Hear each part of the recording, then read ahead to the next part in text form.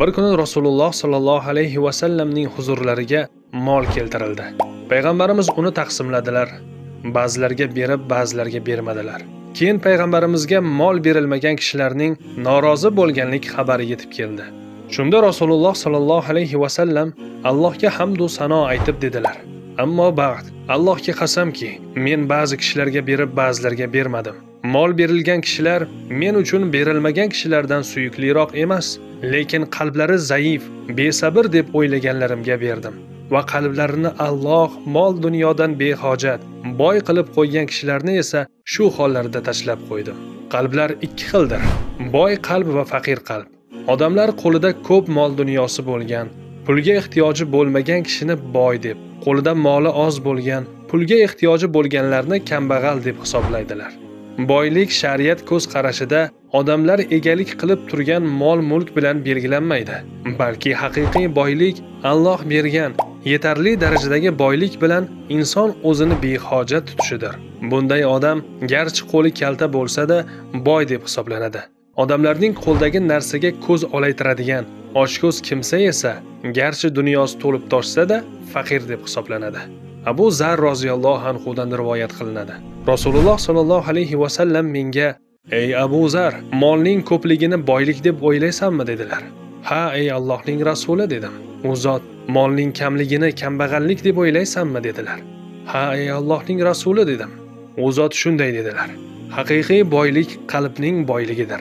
Haqiqiy kambag'allik esa qalbning kambag'alligidir kimning qalbi boy bo'lsa dunyoda duch kelgan narsasi qiyinchiliklari unga zarar qilmaydi. Kimning qalbi kambag'al bo'lsa dunyoni qancha ko'p to'plamasin foyda bermaydi. Ziqnaligi unga zarar yetkazadi xolos. Qalb boyliklarni qanday his qiladi? Kishi qo'lidagi dunyo matohlari bilan emas alloh bilan kifoyalanib boshqalardan behojat bo'lsa va u zotning huzuridagi narsaga aniq ishonsa o'zini boy his qiladi. Bandaning allohga bo'lgan muhtojligi qanchalik ko'p bo'lsa qalbidagi boylik shunchalik komil bo'ladi. Bu banda mulki tugamaydigan boy zot u bilan birgaligiga aniq ishonadi. Rasululloh sollallohu alayhi vasallam dedilar kimki biron narsaga muhtoj bo'lib uni odamlarga oshkor qilsa uning hojati ravo qilinmaydi. Kimki biron narsaga muhtoj bo'lganida uni allohga izhor qilsa alloh u bandani tezda yoki bir oz muddat o'tgach rizqlantiradi. Allohning ne'matlarini ko'p sanash ya'ni berilgan ne'matlarni sanasam sanog'iga yetolmaydigan darajada juda ko'p. Aslida bunga men haqli emasman degan ko'z bilan ko'ra olish. Rasululloh sollallohu alayhi vasallam dedilar boylik dunyo matohlarning ko'pligi emas balki boylik ko'ngil to'qligidir. Alloh taoloning bergan rizqidan berish va bermaslikdagi hikmatidan rozi bo'lish.